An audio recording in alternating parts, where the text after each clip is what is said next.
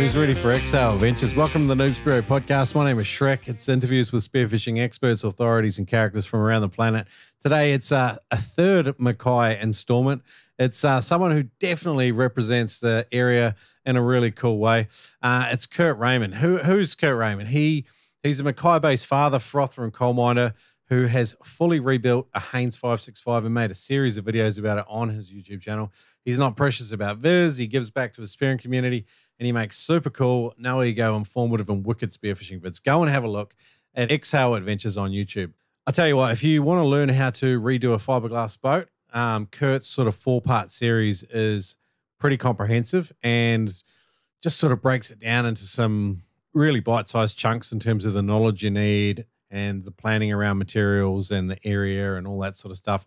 Uh, we chat about it a fair amount in this episode, so I hope you are into that. And um, it's funny, eh? Spearos with boats. I'm still hoping to do a full episode at some stage in the very near future about boats and Spearos because every country sort of seems to have its own preference. So I want to sort of capture that. Like, obviously, depending on the sea state, where you're launching, all of these things sort of play a part in it, how far you're heading out. Um, you know, obviously, we all are on a budget. So, uh, well, not all of us, but many of us are. So sometimes that's a constraint as well. So I'm going to do a full episode about that. If you'd like to be a part of that, or you know someone that would be really helpful for creating an episode about a guide to boats for spearfishing, hit me up. Um, Kurt's definitely going to feature in on that one. So again, check it out, Exhale Adventures. But email me, shrek at noobspearo.com if you want to be a part of that one. Um, in other news, I had a cracker review. Paul, it's nice, short and sweet too. But for he he recently did a spearfishing course over on Straddie with his partner Niche. And Paul gave us five stars. He said, great location, great food, unreal instructors, highly recommend. Short and sweet. But uh, I tell you what, they were frothers of the highest degree too. So awesome to have them with us. Quick shout out for a store stocking 99 Spearo recipes and 99 tips to get better at spearfishing. Check them out in Blenheim. It's marine and outdoors. Go and see Brett and his team and um, they stock not just spearing gear, but a whole lot of outdoor stuff as well. But check that out in Blenheim Marine and Outdoors. Guys, 99 Spear Recipes continues to fly out the door. If you want a copy, go visit your local spearfishing retailer if you want to save on postage, or come to noobspearo.com, particularly if you're in Australia, and I'll sort you out a copy. It'll be abs- my absolute pleasure. Hey, also, Nooba stories. I'd love to hear maybe it's a new piece of equipment that you're using, something that's changed the game for you, something that's winning go to noobspearo.com, head up into the menu Give Back, and hit the Nooba Stories section. Leave me a voice message. Let's get into today's episode. Exhale Adventures, Kurt Raymond. Here we go. Shop for your spearfishing gear at adreno.com.au in store and online. You can use the code NoobSpearo to save 20 bucks on any purchase over $200. Why would you shop with Adreno, I hear you say? Well, let me lay it out. Flat rate shipping, $9.99 on all orders hassle free returns policy. Australia, price match guarantee. Shop now, pay later with Afterpay. Fully sick brands. Huge, obnoxiously ginormous range of great spearfishing gear made just for legends like you. Go Adreno, go pro, don't be slow. Shop massive, spearing gear at Adreno. I'll stop. It's a no, no. But seriously, shop with the Noob Spearo's longest running partner, Adreno. Head to adreno.com.au online or in store at their huge mega stores. Use the code NoobSpearo to save 20 bucks on any purchase over $200. Are you US based looking for freediving spearfishing gear? Neptonics is the best. Their online website so easy to use. If you've got any questions, Jerry and the team answer questions via phone, email. Anyway, they've got an easy contact form on the site. Uh, these guys are absolute legends, and uh, if they sell it, they believe in it, they back it, they use it themselves. It's tough gear that works. Visit neptonics.com. Use the code NOOB10 to save 10% on any order at neptonics.com. That's right, use the code NOOB10, N O O B 10 on your next order. Save 10% at neptonics.com. I used to get told there are only two certainties in life death and taxes. But I found out that there are actually three. Score a free hat of your choice when you use the code NoobSpearo with every purchase of over $100 at noobspearo.com forward slash taxman. Get some gear that's nearly guaranteed to drive away the wokesters, but gain admiration from the fishing fraternity. Go to noobspearo.com forward slash taxman and use the code at noobspearo when you spend $100 or more to get yourself a free hat. Again, noobspearo.com forward slash taxman. All right, g'day legends. I am in the heart of Mackay uh, with Kurt Raymond, the Exhale Adventures mad YouTuber. If you haven't um, checked out his YouTube channel, uh, he's got better and better over the years. Um, people might know him for refitting uh, 565 Haines, which is a really popular fiberglass boat here in Australia. Um, all the Haines boats have got that wicked hull shape, so if you want to see that, he sort of goes into detail about how to do that. But Kurt's channel really focuses on Mackay and surrounds. Um, having said that, he's been getting out, and I'm, I'm looking forward to picking his brain about blue water hunting because he's recently been getting into that a wee bit. And um, Kurt, mate, magic to have you on the show. We've been chatting for years. Yeah, it's been um, unreal. Like new noob Spearo was such a big thing for me when I first started, and definitely just progression was massive after listening after listening to the Noob Spearo podcast. Um, there's so much info, especially in those early episodes. You guys are just banging them out, and I had to play catch up a little bit. I was a little bit behind, but I'd sat down and found every episode, listened to every one, and took little bits and pieces from all of it, and I still use it today. You know, unreal. Mate, mate, it's um, it's cool to be in Mackay and hanging out with you because you're such a Mackay frother. Like a lot of guys are kind of like they almost come across as a bit down about the area and they focus on the shortcomings. But you, you know, like Mackay's got some um, some cons arguably as well. Like sometimes people say, "Oh, the reef's too far out," but you froth on the inshore stuff, the river stuff, the out wide stuff. You kind of just have a real deep appreciation for what you have in your own backyard, which I, I like. Yeah, hundred percent, and it's something like that was a big focus for me with the Exhale Adventures stuff was like especially on social media, like you see people posting like what's it like in Mackay, what can you do in Mackay, and it just gets smashed. Like there's nothing to do here. It's I'm like, man, I don't have enough time to do everything. There's so much to do. Like, yeah, if you even if you don't have a boat, shore diving, um, if you're not not into fishing, there's we got rainforests here. We've got like you name it, we've got it, and it's um, there's just everywhere is what you make it, I suppose. And um, do you think like their attitudes with the local conditions, it comes down to personal temperament, or just people just sometimes a bit. I don't know. It's like why do people focus on the negatives with, with what yeah. they got in front of them? I don't know what it is. I don't know what it is either. I think some people need something in their life. I think, and yeah, if if it's negative or positive, that's just what they focus on, and it's sometimes you can get caught in that as well, I suppose. Like especially this time of year when the weather's you know like what it is at the moment. Yeah, when I come up here, yeah. yeah. it's dead set been like this for the last oh, seems like forever, but it happens every year. So you expect it, and you know it's going to come good. Um, and it always does. Middle of the year, it's going to be a cracker. January through March, you sort of a bit more rainy. Yeah. And and what the the trade winds just ripping up a bit normally. Yeah, and hit and miss, and you get yeah you get those northerlies roll in, which can be a good thing. You get some bait, you get your mackerel. Um, Why? Why do you get the mackerel? Does it?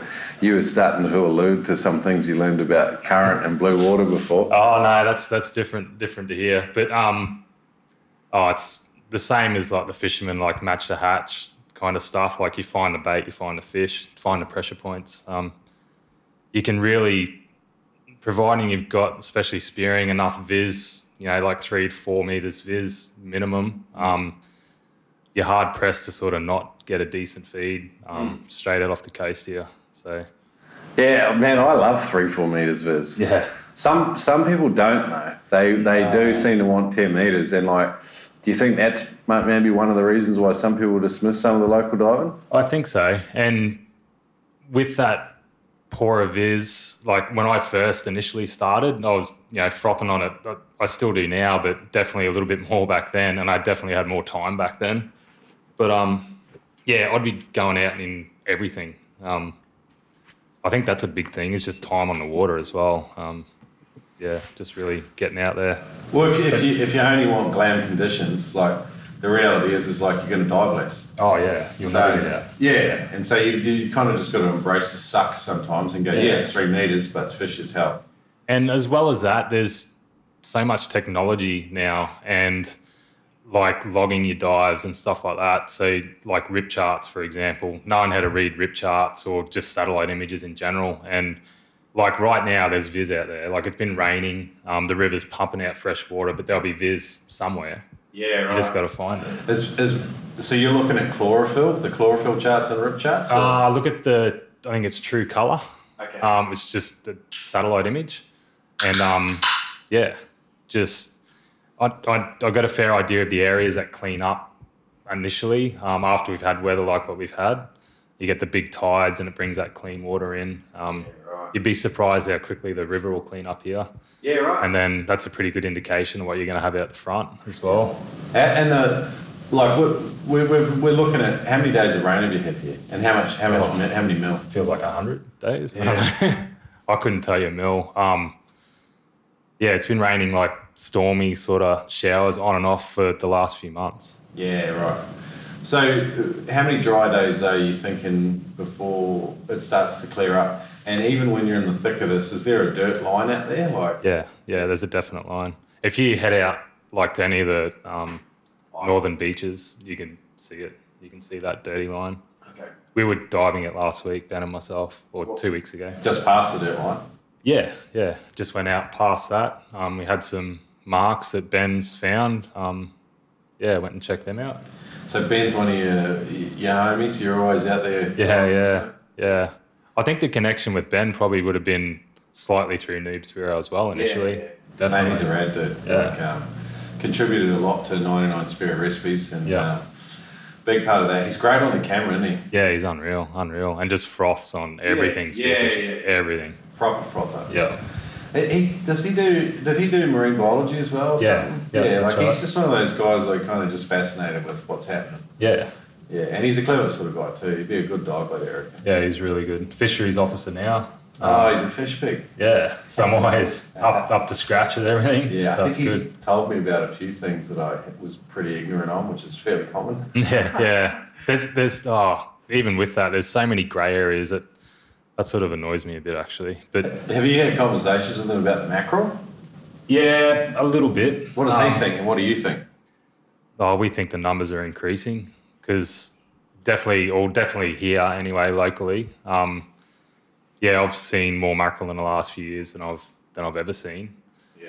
But um, I don't know if I'm just diving better, better or going Yeah, in better yeah. conditions or what. So That's, that's that, purely anecdotal, but yeah, that's a good level of self awareness with it too. Like sometimes we, you know, we're, we're one set of eyes in one location. We don't necessarily have enough data to say, oh, there's more or less, but we can just say purely from our, our perspective what's Mm. going on. And I, I think, but you, you can put together a lot of stuff from anecdotal reports from Spearos, you know, because we don't have all the apparatus on. Um, we're encountering Spanish in a different way than the commercial guys are. So yeah, that's cool. yeah, hundred percent.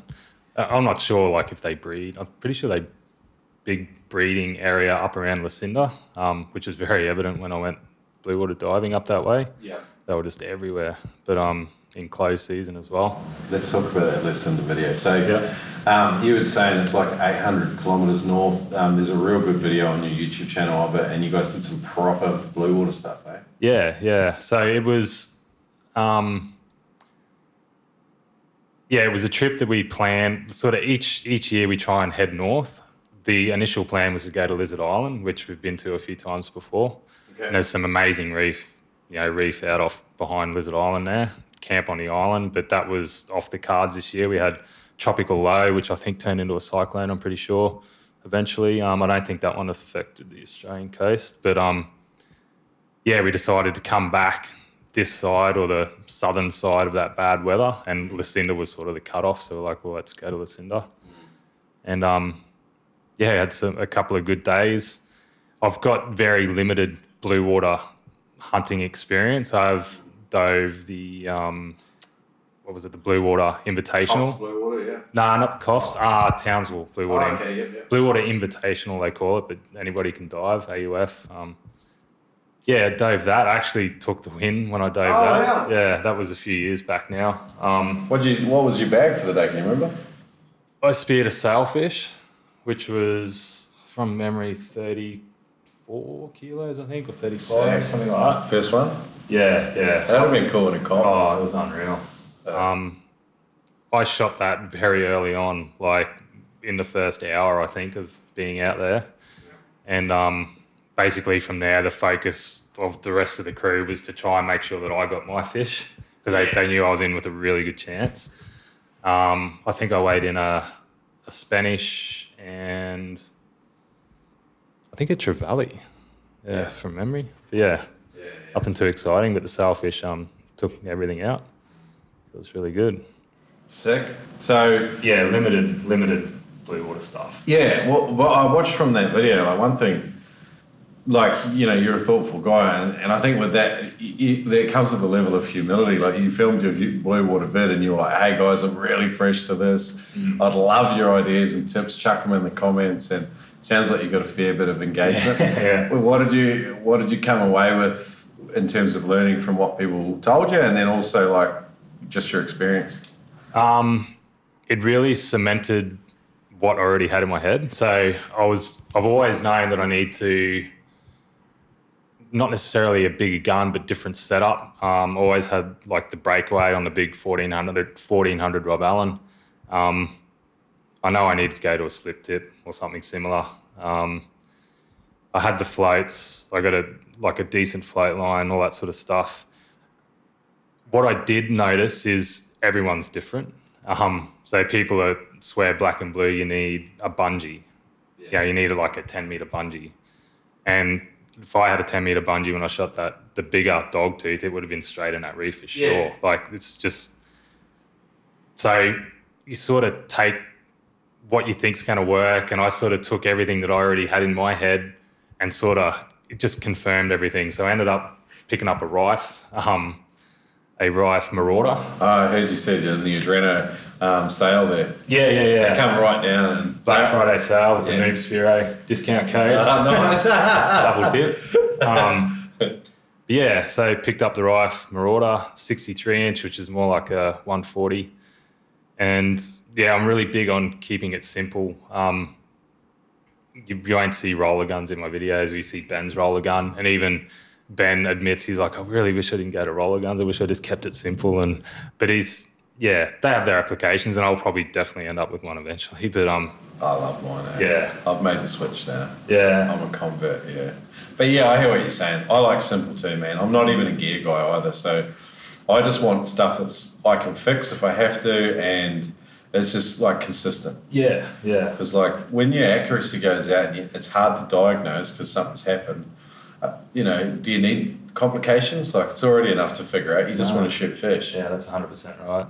Ben's like my gear guy. So if I need any advice on gear, I'm like, hey, Ben, what do you reckon? He's like, you need this much band stretch and this and that. And I'm just like, yeah, it feels good. I've got So- measurements written on my wall of how long my bands need to be for different Yeah, guns yeah. and stuff Well, like that. tends, there's a few charts out there that are like generic from different um, band companies, but then there's a lot of discrepancy between them too. Yeah, that's right. And um, like I had a big conversation back in the day with Manny Bolivar about you know the different two main sort of archetypes of rubber, and he's talked about reactive, like the snappy, punchy, like Rob Allen style rubber, and then the more progressive stuff that sort of has a it has the same level of torque, but it's kind of a smoother acceleration curve, so it's like more suitable for rollers and stuff. And then yeah, that was it was interesting, and I think yeah, guys get gout on it. It's it's hard though, like to know where to cut your bands and.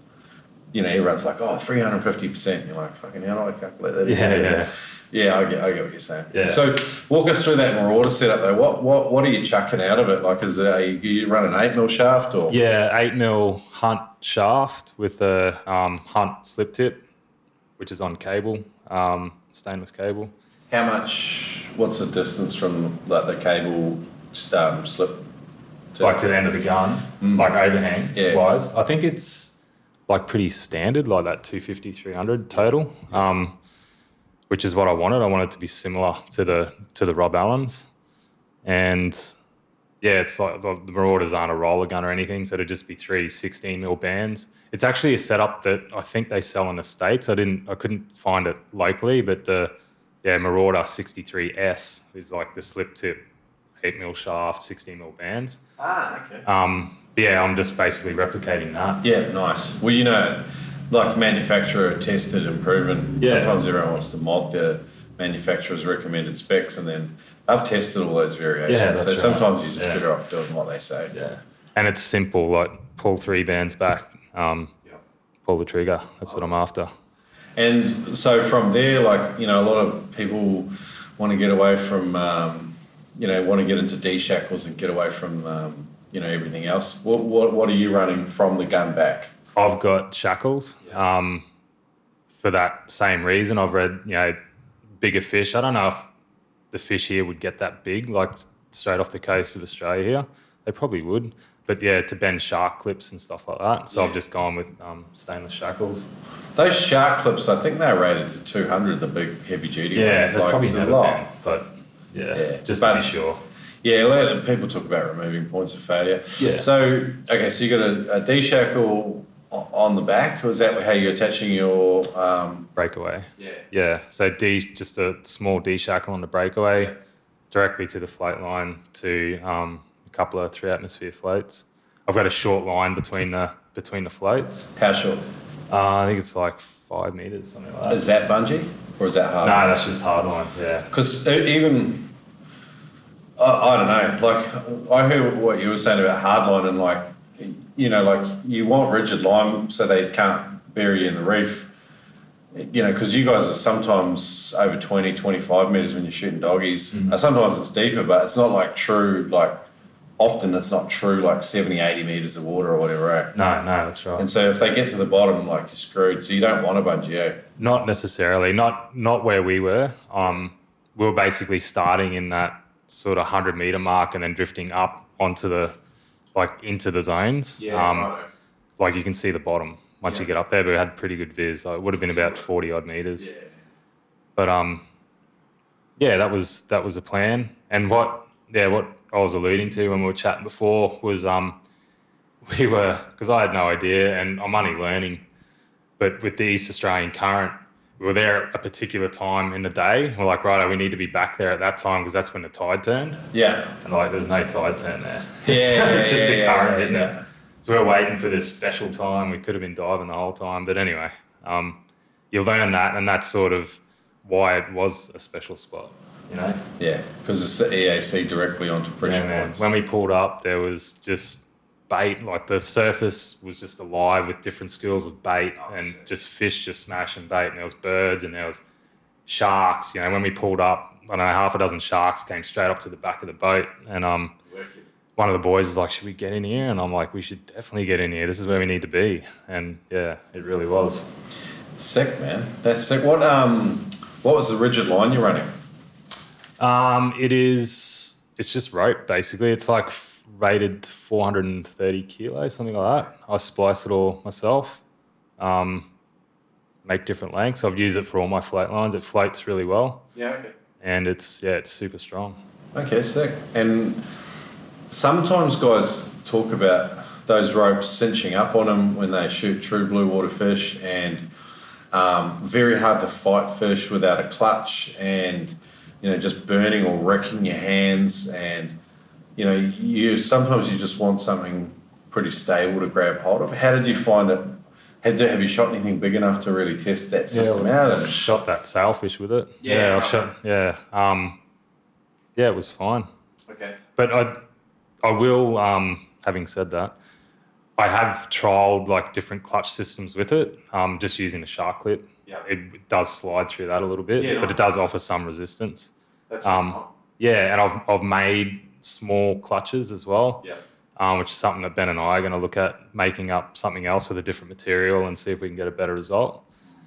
And um, on top of that, I'm also looking at just picking up Old Man Blues float line, Yeah. built-in. I was going to tell you about it. Yeah. That's right where I was going because I was like, his, his, his one's getting pretty good reviews. man. Yeah. Like guys are shooting big fish with it, and like, yeah, I, I feel like it's. Um, I don't want to plug him too much because he's my mate, but like, like he, he makes real good shit. Like, Yeah. And he, like he's got two mates, and those guys shoot some of the most.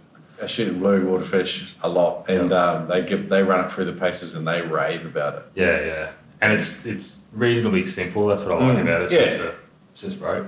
Like, Yeah, it's good. Some of the better ropes, like um, Riffe, have got that wicked line, but I think that, that it's not that great in a true blue water situation because of those reasons. Like it's hard to clutch Yeah. and some things like that. But yeah, I don't want to throw them under the bus. A great band, great brand. They Oh, make yeah, some awesome stuff. yeah. Yeah. bit like Rob Allen too. Yeah. Like you know these these guys have been doing this stuff for years. You got Yeah. nothing but high regard for them. That's right. And they, they put the research in as well. I love those little clips that Rob puts out. I froth on them a little bit where he's breaking everything and puts everything through the tests. He's very dry, isn't he? It's, it's, it's not like some highly viral channel. It's um, he's not going to do well on TikTok. Nah, no but way. like in terms of information for Spearos, like that's where it's at. Eh? Yeah, yeah. Yeah. It's good to see it all in action. Same as Chris Coates, like Yeah. just just proper gear testing vids and stuff, um, and garage testing too. Yeah. Like it's not like they're not like um, you know it's not like hardcore engineering workshop stuff. It's just Spearos like working stuff out. It's Yeah. cool. Are you in the market for a new spear gun? Killshot Spear Guns has got blue water Wahoo tuna guns, open track spear guns, enclosed track spear guns, rear handle enclosed tracks.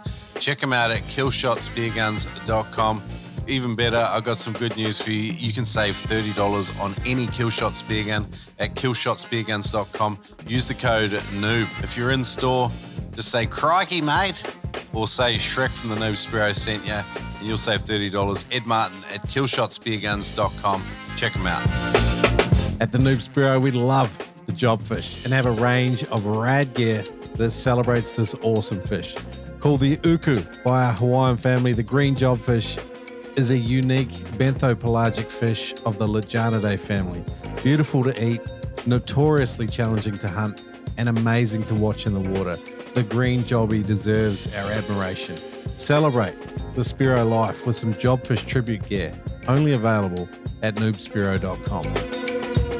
Ocean Guardian is the world's leading shark deterrent technology company. Since 2001, their independently proven and tested products have been allowing ocean goers all over the world to enjoy the ocean without a worry. Their technology is so effective, the Western Australian government offers a $200 consumer rebate for the purchase of the Freedom Plus Surf and Freedom 7. Uh, guys, get into it. We've got a discount code for you 10% off your Shark Shield device if you want to get the Freedom 7 or the Scuba 7. Get 10% off. Use the code NoobSpearo at checkout. If you are at Ocean Guardian uh, US site or ANZ site, uh, get into it, get in amongst it. Ocean Guardian are doing awesome things for Spearos.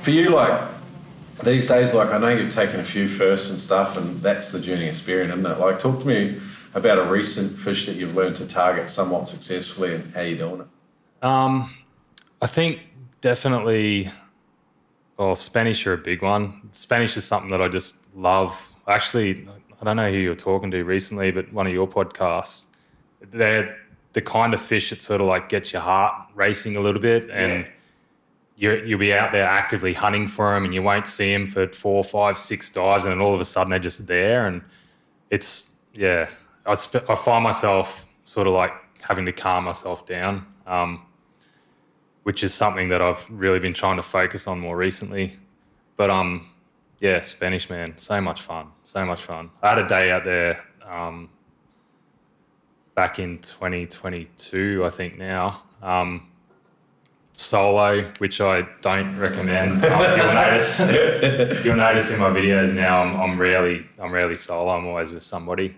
Um, yeah, I don't want to sort of send the wrong message to the younger divers. It definitely it's it's super fun getting out there by yourself and doing that sort of stuff. And I 100% I will do it again. Um, but yeah, highly don't recommend it. Um, not if you can avoid it.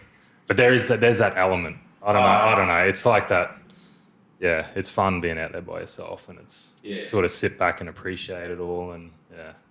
But Spanish, sorry. Um, yeah, no, we'll come back to that though. Yeah, I yeah. want to have that conversation with you a bit more. Yeah. But yeah, Yeah, Spanish. Um, I was in town for a meeting. I, I made a little video on this, I think, actually. I was in town for a meeting um, from work, which is unusual for me. I'm an underground coal miner. I'm back in town a little bit early, so I had a little bit of time in the afternoon.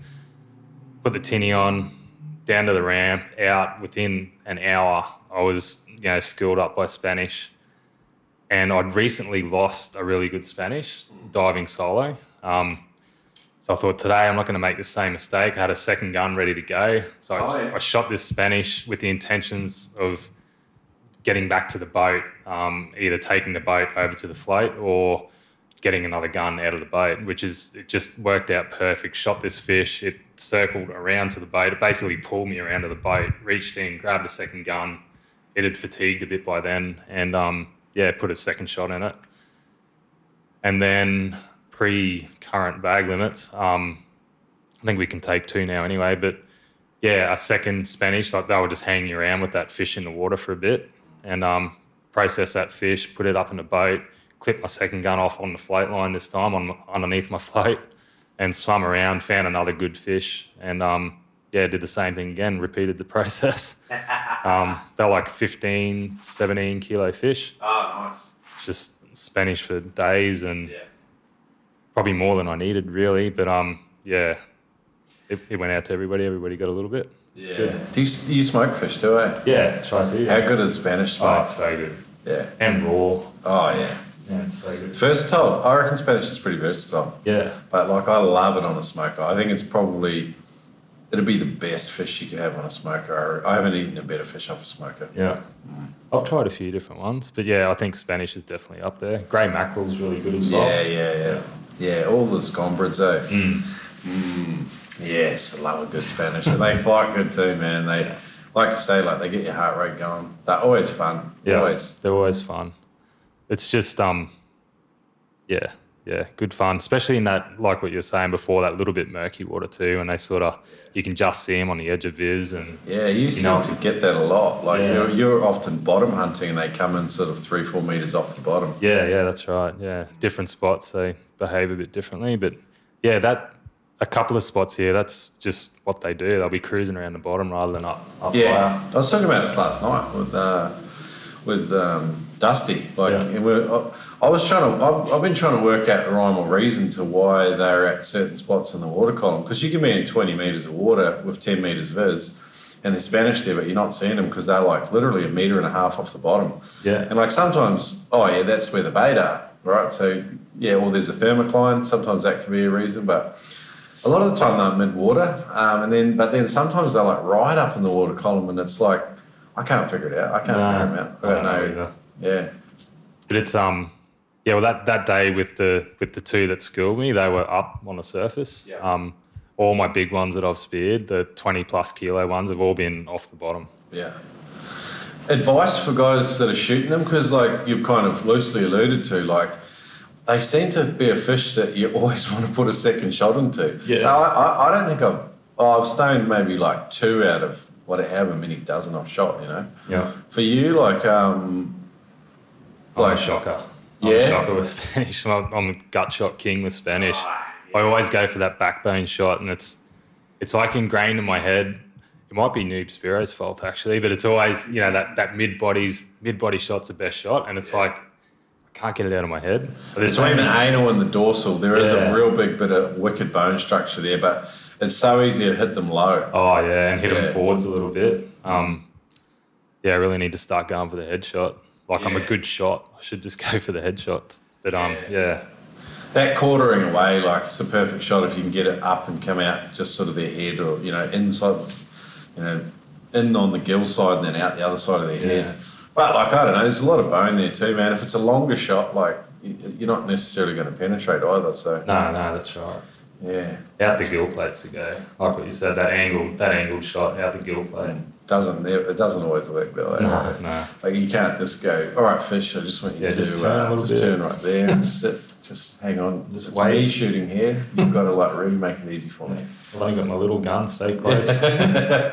Yeah, for a while there, like I was using a, um, well, I still use it. It's my favourite gun. It's a um, Spear Gun Engineering Duncan Henderson roller. yeah. And for a while there, like I, I shot like with about 15 kilo Spanish and I wasn't penetrating him. And I knew I wasn't too far away. I was good, like single wrap, um, but straight onto a reel. And I wasn't penetrating them. And I thought it was just that rollers were a little bit underpowered, but I just left the pretension on too long and that band had sort Oh, of, yeah. you know, they just didn't have the same life in it. Yeah. You got to change them a bit more often. Yeah. Those single rollers are still good for it, but Yeah. you just got to have them wound up a wee bit. You saw it, you saw it popped off, obviously. It's just like in the boat, pre tension all the time. Yeah, yeah. Or friggin' even get home from a day diving and leave it there for a couple of hours while I fill it fish and it's still got all the pretension on it. It's just like, Like it's just not looking after your gear properly. Nah, I'm a shocker for that. Yeah. I, I might hose it off and chuck it in the. Yeah, well, with rollers, you you have to take the pre-tension off. Otherwise, you're just going to that life that, that rubber's got so much life. It's under tension all the time while you're out so you have to take it off. And then you've got to. I reckon because of that, you've got to change it more often. Too. yeah, yeah. Yeah.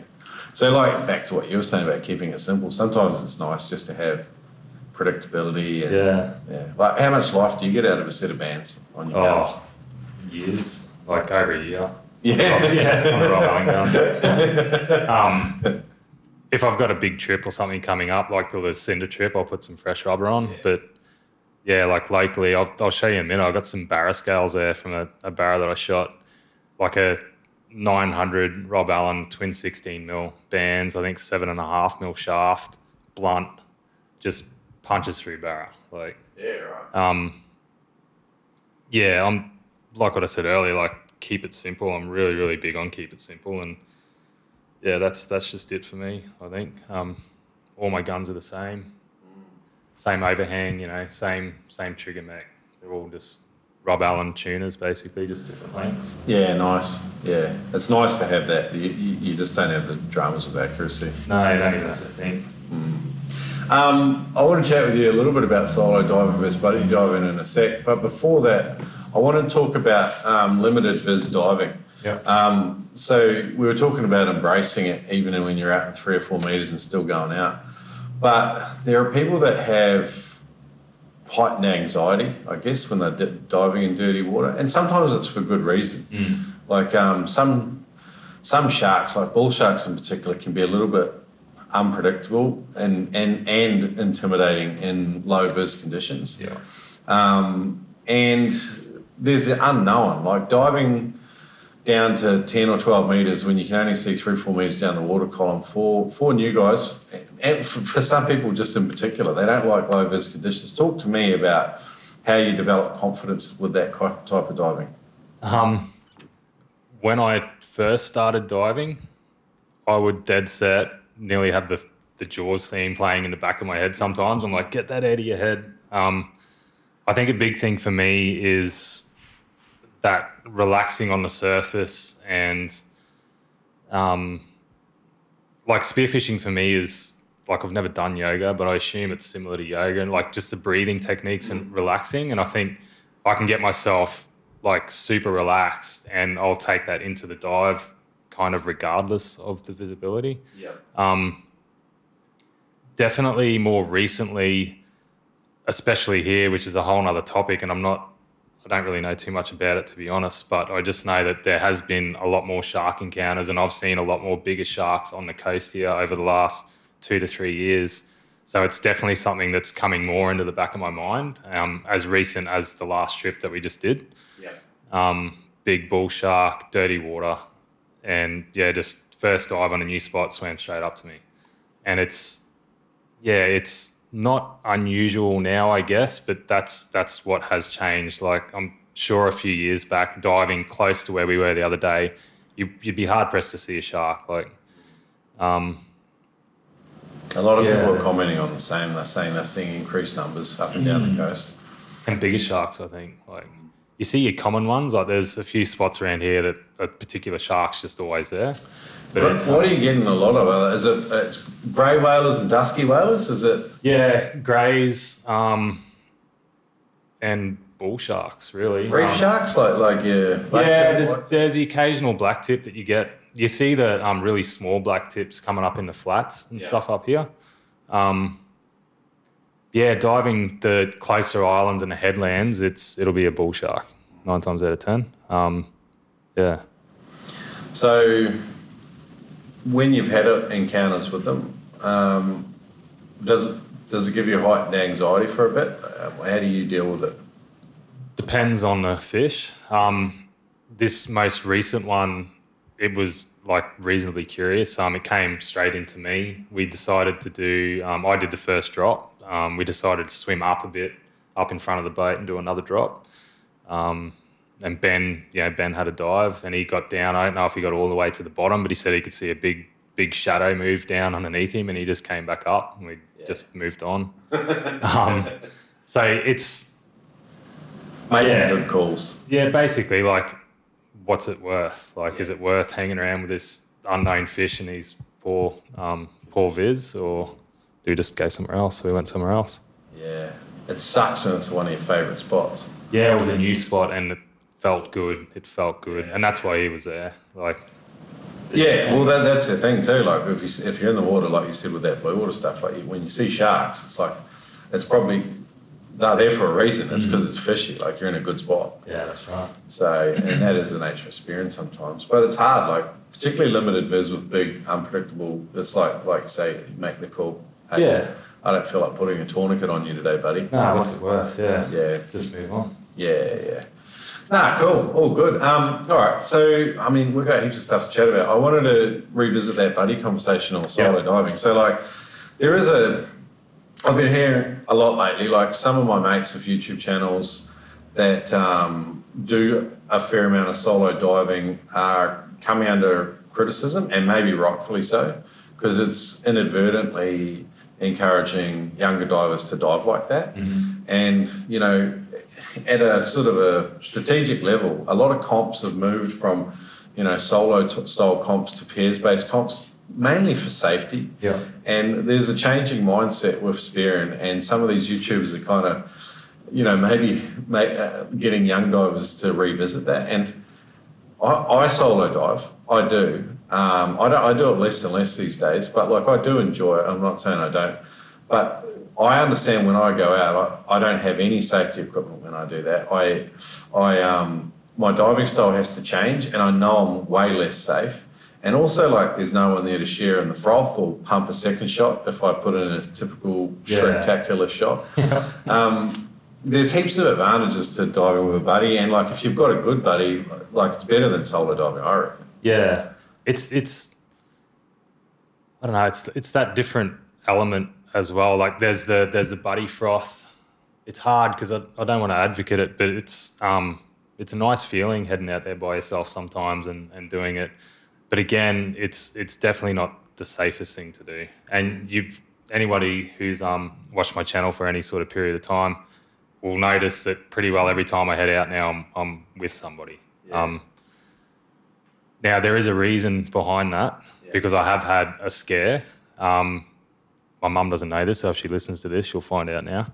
But um, very controlled environment, um, free dive training, and I had a blackout on the surface.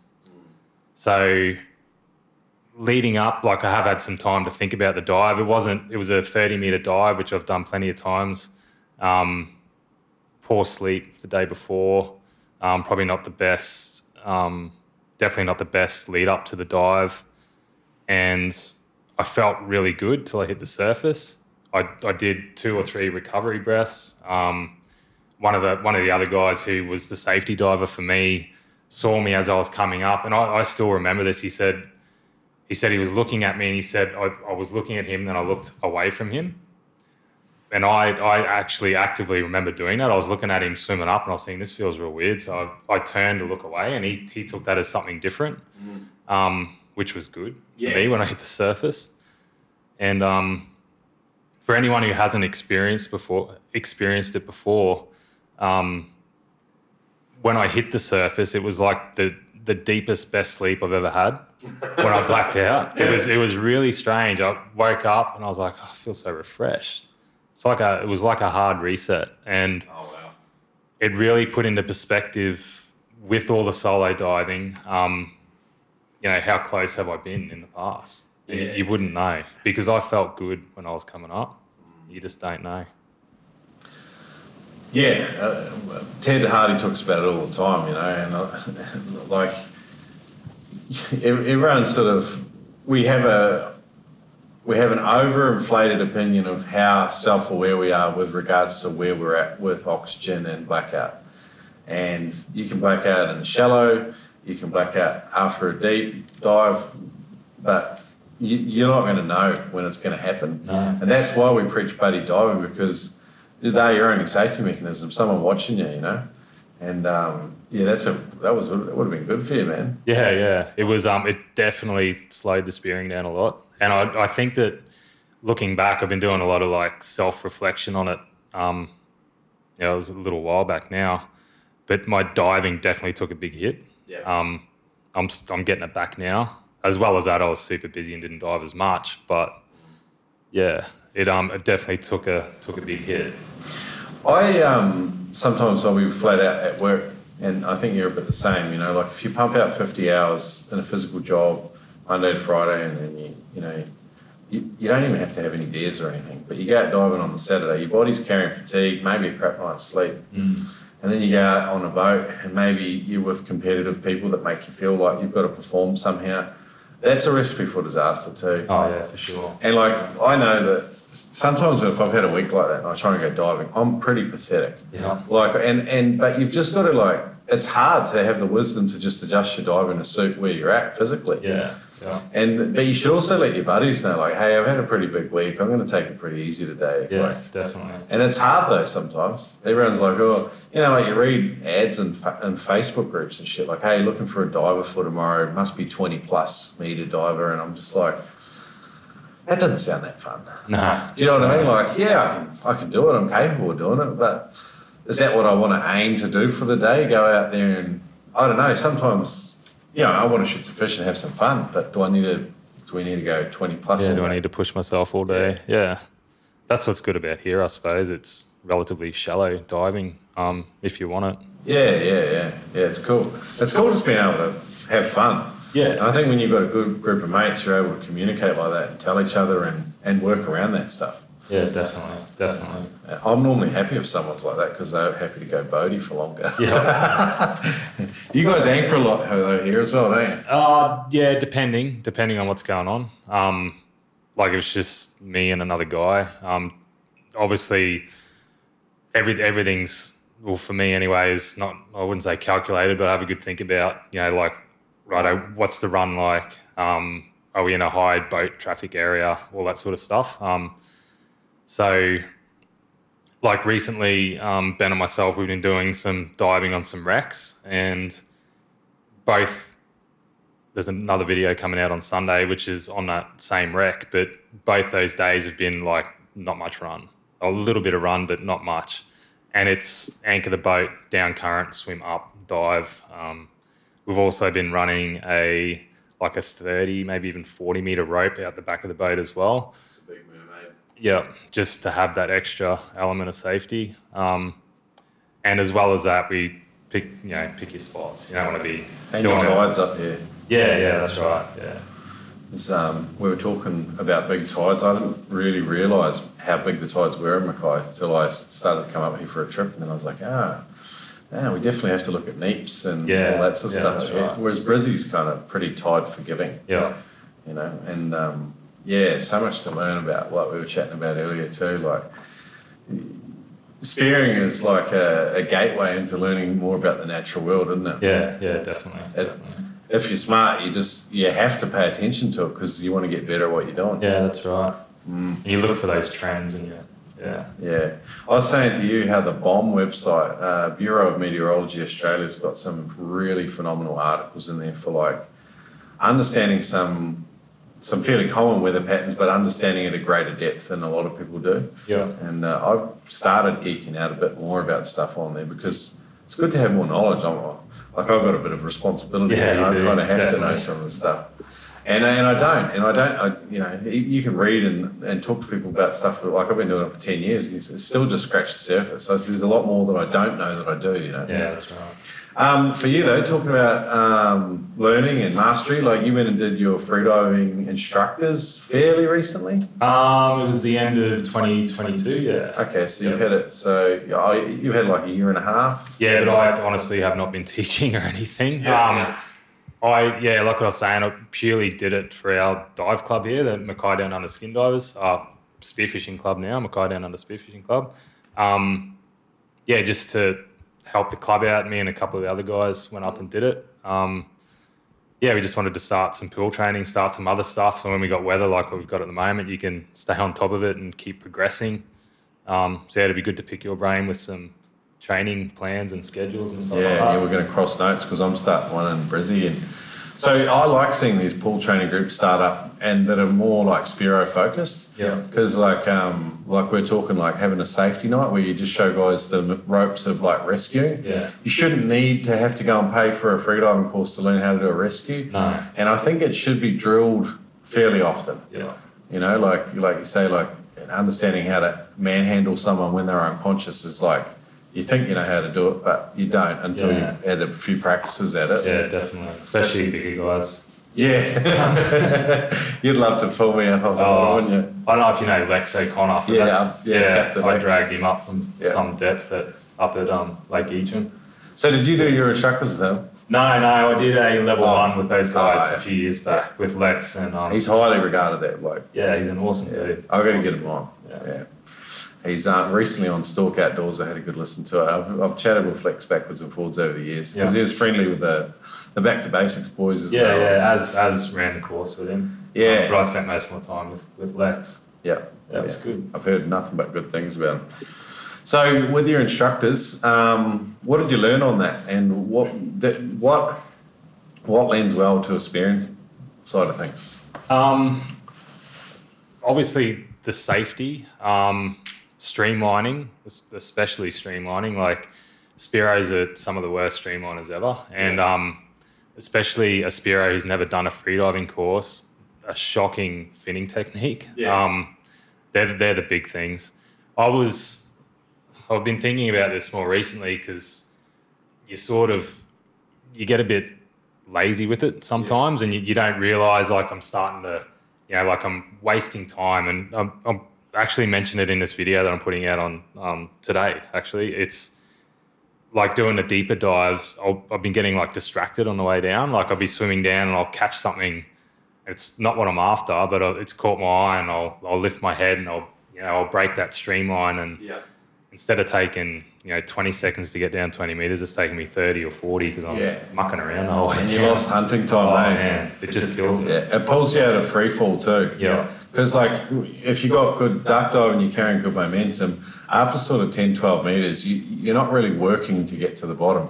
A lot of people think that you, you have to work as hard to get to 20 as you did to 10, but if you're in free fall and you've got good um, streamline, it's actually not a lot of extra work. No, no, It is work to come up to Yeah. get that going again, so you do have to have that level of awareness with it. But yeah, so if you're hunting mid water Yeah. and pulling, pulling yourself out of streamline, though, you're working to get the 20. Yeah, yeah, and you're working the whole position, and it's it's shocking. Yeah. Yeah, ideally, yeah, streamlining, um, a big thing. Um, kicking technique, being relaxed on the surface um, in sort of all conditions. That's a big a big takeaway from a freedive course. Something that um, a lot of Spearos, unless they have actively gone out and researching it and stuff like that.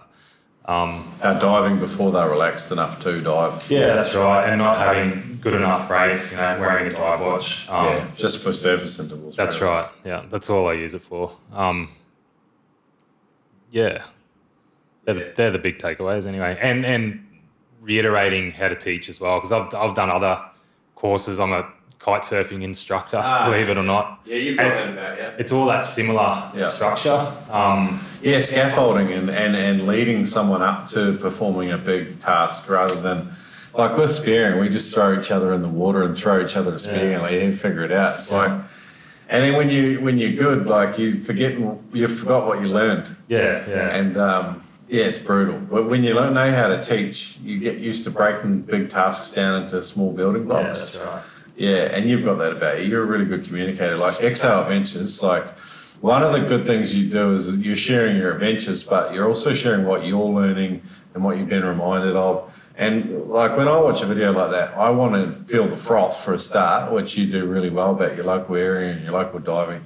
But then also to be reminded of things and to learn a couple of things along the way. That's cool. Yeah, that's what I try and do. I, I don't hit the mark in every video, but I, I do my best to yeah to try and bring yeah what's going on through my head as I'm doing it.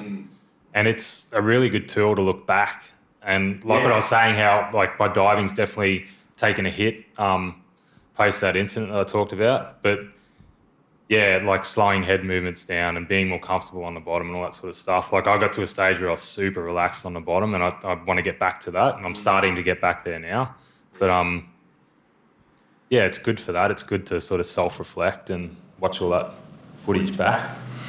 Sometimes the freediving side of it is good because, like, if it's just pure hunting, you're not actually enjoying the diving side of it. No. You just it's everything's about the fish. And don't get me wrong, we're there to take fish. Like I love that side of it too. But like when you lay on the bottom at a new depth, there's like a real like sense of wonder and accomplishment that you're comfortable there for a start, and you can just enjoy it. Yeah, yeah. And that's a cool place to hunt from, feeling like that. It is. Rather than feeling like you're out of breath, you really just want to kill something, and then like it's like there's this urgency over you, and it's it's it's not as enjoyable. No, no, hundred percent. It's good to know you got time when you when you're down there. Yeah. and you start doing like, um, yeah. The other day I had like a school of um, golden trevally, just small golden trevally swimming around me. I was just laying on the bottom and pulled the GoPro off my head and I was filming them, and because it was just a cool experience. It felt cool for me, so I'm like, yeah, I enjoy that sort of stuff. Ocean Guardian is the world's leading shark deterrent technology.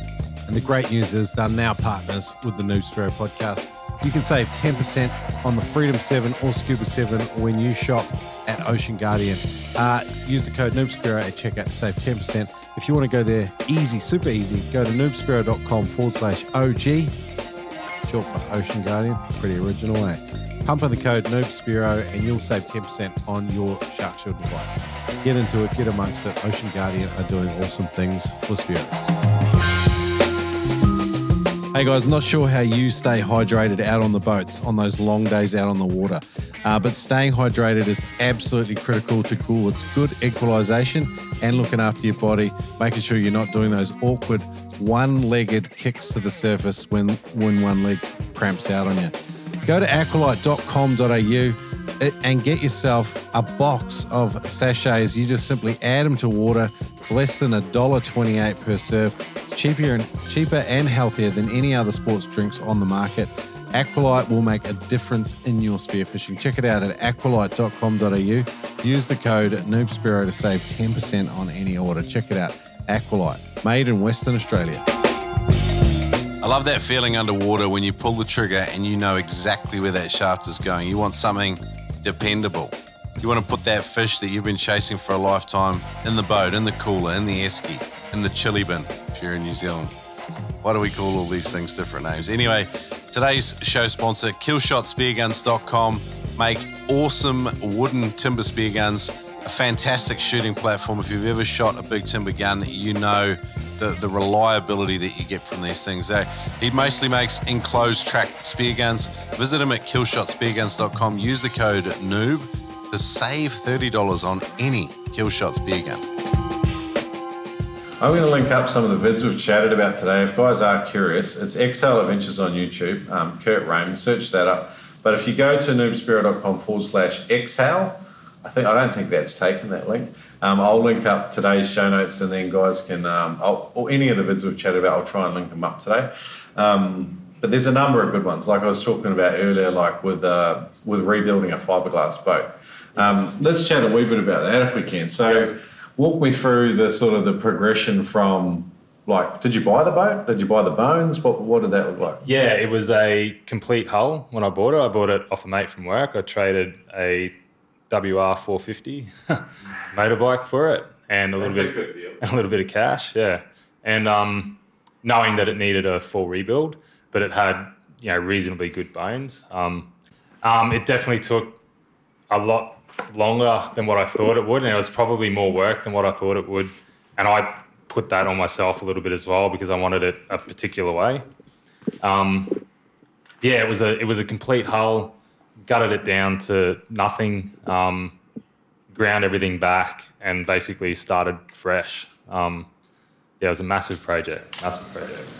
So okay, so I've got a boat sitting there in the backyard. What do I need to cut out, and what's involved with that, like in terms of PPE and all that? Because it's pretty nasty shit, isn't it? Yeah, it is. It is. Um, you can wear like what's called a sperm suit, um, which is I don't think they call them just sperm suits. That's what we call them underground. Um, I think they're like coveralls or something like that, and you can wear them. You can tape yourself up. You can tape your ankles up, tape your wrists up, wear gloves, um, enclosed shoes, all that sort of stuff, full masks and everything.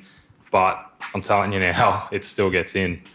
Um, you really, you really do get used to it. And the best thing to do is to just hook in, plan it all, and get the grinding out of the way because that's that's the itchy bit.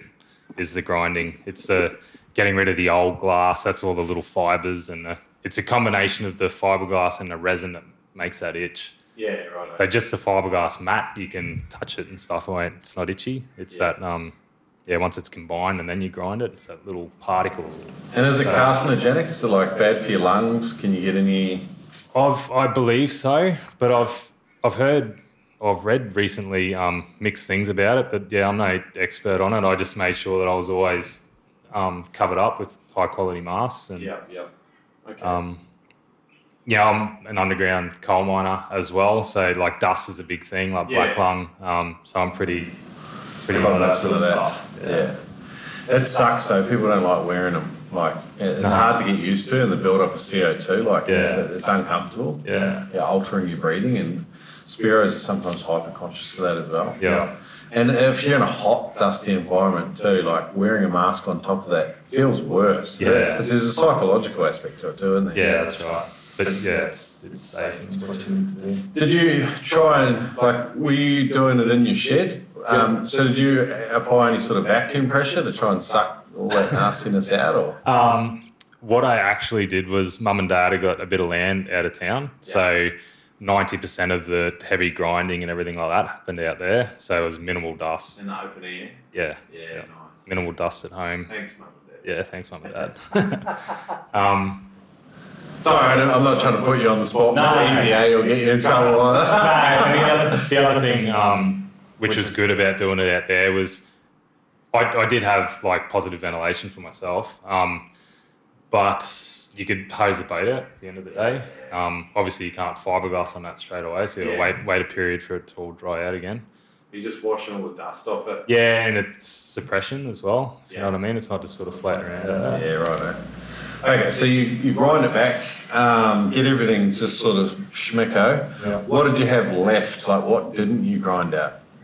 So Oh, not you're- much. yeah. Yeah, I left the cab on. Um, I left the cab on the boat. A lot of people turn turn them into center consoles. Um, I wanted it to be like a family boat slash Spearo boat, so the cab stayed on. I wanted to be able to sleep in there as well, and pretty well everything that was going to have glass attached to it needed to be ground back to glass. So flow coat gone. Um, yeah, there was not much left. I completely rebuilt the back end of it. Um, just the outer skin of the transom stayed on the boat. Everything on the you know on the inside of the boat got, got pulled out. yeah. What did you do to the transom? Beefed it up. Um, So did you just add to, to the existing, or did you cut it right out and? no, yeah, so I left that outer fiberglass skin, Yeah. and then everything else got removed. So it had timber like rotten timber. Um, yeah, completely pulled all that out. Um, two lots of 19 mil thermalite. Yeah. um, what do you call it, laminated together, and then that was then glassed into the into the transom, So and then you were like looking at like 40 mil thick transom. yeah, plus plus some because the heat of glass went over top of that as well. Jeeps. Yeah, Yeah, that is beefed up. So you, Yeah. you'd be confident at just about strapping anything to that. yeah, that's right. And I've I've tied it all in to the floor and to the stringers. So originally, you know, like the top deck of those boats were like a couple of seats, you know, like the Haines little seats in the back Yeah. corners, and none of that's sort of tied into the floor or to the stringers. So everything's all tied in at that back end. Um, I'm no like engineer or anything. I don't know if I've created a, a weak point in front of that now or not, but um, it's all really beefed up and super strong. And yeah, that was the that was the end goal. So thermalite um, added onto the transom, like laminated together and then glassed over, and it's all tied into your stringers. Did you do thermalite all through the floor as well? Yeah, yeah, thermalite stringers, thermalite um, all up in the cabin, so all the bunks and everything's all thermalite. Um, Because it's just get away from timber and rot. yeah, yeah, Yep. nothing can rot. There is still a little bit of timber in the top deck, like original timber, but it wasn't rotten, and so I just sort of left it and saved a bit of work. But um, yeah, the actual structure and bones of the boat's all all thermalite. The pockets on the side, did you cut them out as well and redo all that as well? Yeah, yeah, got rid of all that. Those door cards that are in those Yeah. boats, they just sort of unbolt. So big, long, um, long, wide stringers, uh, long, wide, sorry, side pockets, and some little top side pockets so you can chuck a bit of gear beside the seats. Did you know anything about doing this before you started it? No. Okay, No. so it's an intimidating take on, like a full Very, rebuild, yeah. like to gut it and then redo the whole thing. Yeah. Um, everyone talks about having two, at least two bilge pumps in there. Did you take the opportunity to put uh, more in? No, I've got one, and I've got a um, a second one there, basically ready to just chuck in if I need it. Oh, yeah. Um, yeah, I've got one big one. It's on a manual auto switch, and yeah, that's kind of it. Yeah, okay. And foam filling the floor, or did you get carried away with everything? What Yeah, you- yeah, foam filled it. Um, which has like, there's lots of people, lots of different opinions on that, but I, I think I more prefer have it than not. And Just stability, strength, a little bit more weight though. it's a lot quieter as well. Oh, you're right. Yeah, it makes it really rigid. Um, you don't get that echoing noise. Feels less like a surfboard and more like a friggin' truck. Yeah, yeah, just smash through the waves. Um, yeah, I, I foam filled, um, cut it level with the stringers, and then I glassed over top of that where I, where I cut the foam because it does expose, you know, like the bubbles, like little air pockets of the foam. So there's a chance that moisture can get in there. So I glassed all that as well. Okay. Um, yeah, I tried not to cut any corners. And a lot of guys take the opportunity to change their fuel carrying capacity. And Yeah. what did you do? Um, I got two tanks. So I was adding this, yeah, the bigger motor. I put a 200 Mercury on the back of it, um, without knowing any calculations, any calculations or anything like that. I really wanted to make sure I had extra weight up the front in the nose, and never had a tank up in the nose. So I put a tank up the front, which is like an auxiliary tank more than anything. I hardly use it. I'll use it every now and then so that I keep moving the fuel through it. But I just really use it to keep weight up the front and level the boat out. it still gets up on a plane when you're like under under load and, Oh, and you've got that- fuel up there? Yeah, with that 200. Yeah, Yeah, yeah. It. Some guys, I've been chatting with a few guys that know their Haines, and, and you can make them nose heavy. Yeah, yeah. And uh, it's a de- it's a delicate little. There's way more to boats than people realise. I Yeah, think. it's not just a matter of just yeah doing Just- it, chucking a motor on and yeah. Like um, okay, cool. So then you you've glassed over your your foam fill. What about your flooring and what what went over top of the tanks and all that sort of stuff? Yep. So the floor, so the tanks are sealed in. Um, two separate tanks. They're linked internally. Um, What's the logic of having separate tanks? Just so I can keep that weight up the front. So rather than drawing from one tank and losing a total weight, you know, over that whole length of the boat, I can keep that Yeah. hundred or Ballast. Yeah, keeps it up the nose, and I can draw from it if I need to. Yeah. Um, yeah, that was the logic. Okay. Cool. Yeah. Um, yeah, so floor went in over top of the tanks. Everything's all sealed in, and I've got really basic just fill through the floor.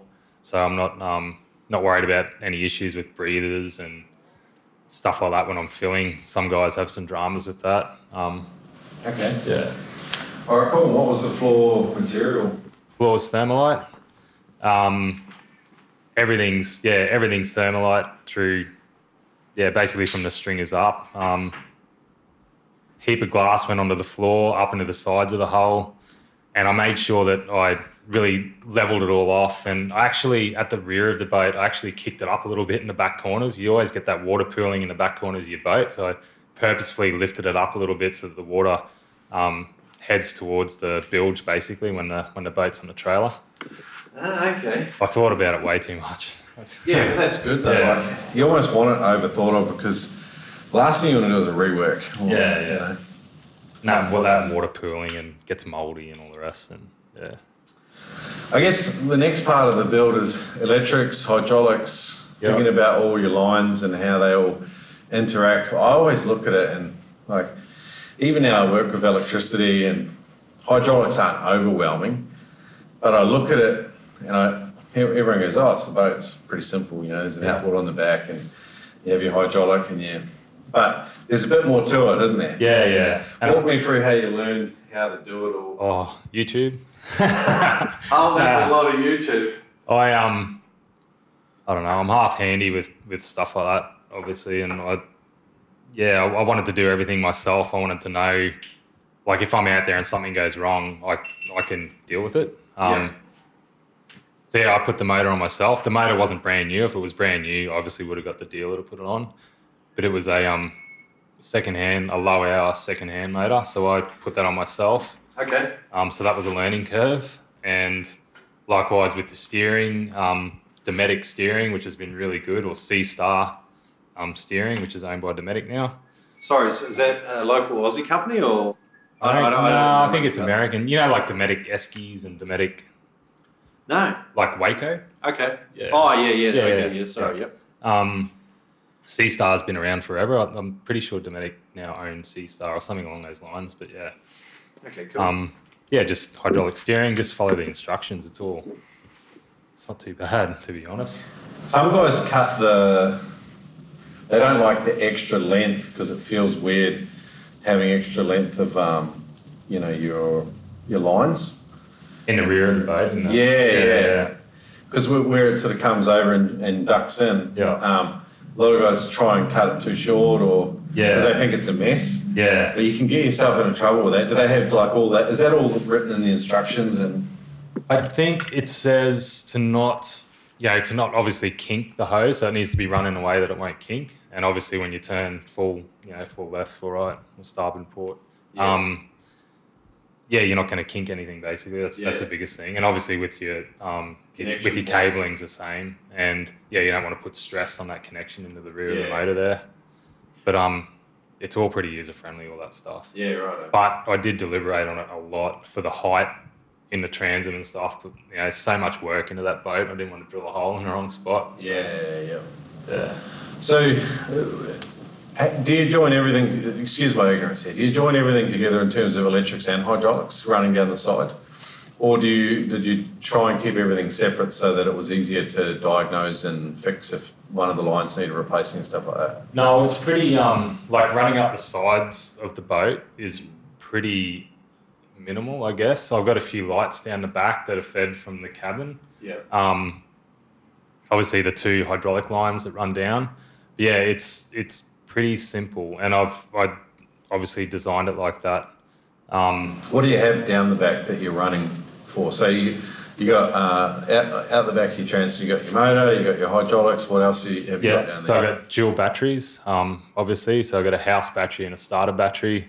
I've got the bilge down there, and I've got a couple of lights up inside the rear storage area. yeah. Um, Transducer. yeah, transducers down actually inside the boat, not on the back of the boat. So it's an in hull. Um, it's not a through hull. It's just an in, in hull in a wet box, Yeah. which reads I don't know how we did it, but perfect. Out to I've been out to seventy odd meters. I haven't been overly deep yet, Yeah. but doing thirty knots, perfect bottom. Oh, sick. Like if we just jagged it, so it was so good. I did do, I say just jagged it. I did do some testing with um with a, a bit of timber with holes in different spots and Okay. filled the bilge up with water. Dropped the transducer in a few different spots. Um, Do you have to think about that stuff before you obviously do your full rebuild? to a degree. I was always gonna. I always wanted an in hull. I didn't want something hanging off the back of the boat or a through hull. Um, yeah, I I did think about it, and I, you got to think about where strakes are and stuff like that, and if there's going to be anything on the front of the boat that's going to affect the reading of the transducer at the back as your as your boat travels. But yeah, just jag that. So. Sick. Yeah. And um, okay, cool. So walk us through back again. So how does Yeah, your wiring link together down the side? Is it all? Yeah, it's all just tucked up underneath the gunnels. Um, there's conduit up inside the gunnels, so everything runs through that. It's it's super simple. Um, Fifty mil conduit or? yeah, it's about that. Honestly, yeah, it would be about fifty. Yeah, there's sections of it, so you can you got like access points. Oh, nice. Yeah, so it doesn't run the full length of the. And moisture doesn't gather in there, or Nah, it doesn't seem to. It's all tinned. Um, yeah. salt water just kills everything. Oh, eh? it's yeah. just like yeah, yeah, shock it.